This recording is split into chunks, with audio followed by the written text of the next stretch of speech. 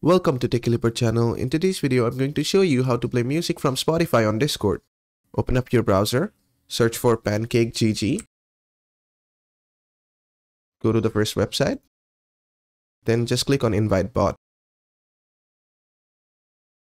Then select the server you want to add the bot to. Make sure you're the admin of the server. Click on continue. Scroll down, click on authorize. Then just go to Spotify. Copy the link of the music you want to play. Go back to Discord. Then join any voice channel. Go to chat.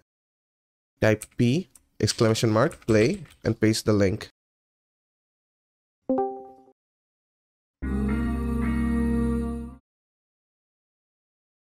And that is how you can play a song from Spotify on Discord.